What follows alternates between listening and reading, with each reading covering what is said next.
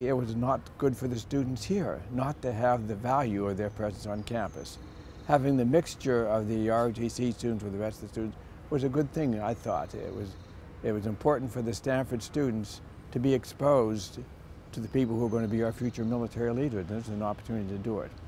And finally, I thought it was important for Stanford to show some, show some leadership in this area. Why is that important? I mean, Stanford got along without ROTC on campus for 40 years. Stanford can get along without it, but Stanford wants to be a leader in business, they want to be a leader in industry, they want to be a leader in government, and the people who come from Stanford go into these professions and become leaders in those fields. They ought to be leaders, contributing to leaders in our military field as well. It's part of our country, it's part of our democracy.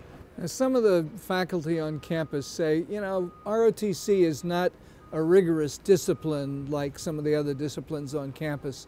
And the professors aren't trained the same, and they're not chosen by the faculty, they're chosen by the military. And those are reasons to keep the exclusion going. What do you think?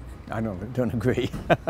I uh, took ROTC here at Stanford many, many years ago, and I felt it was quite rigorous, and I felt it was an important part of my education. I've never looked back at it as an inferior form of education. And in terms of the attitude toward the military, I mean, there are some people who opposed the Vietnam War then and still oppose what they call militarism now. Is there any legitimacy to that, or have attitudes that's, changed? That's a point of view. It's a legitimate point of view. It's not one I agree with, and I believe it's not one that the majority of students and faculty here at Stanford agree with today. Why not? Things just times have changed? Times have changed. Uh, for one thing, we don't have a Vietnam War going on today. That's perhaps the biggest difference.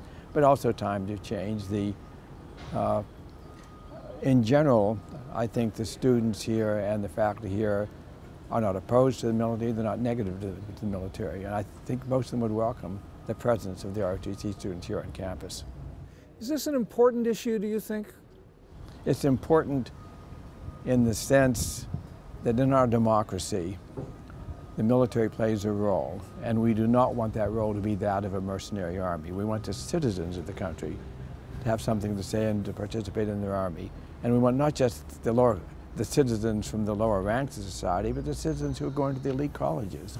All of them should be, have a role, all of them should be participating. It's part of our democracy.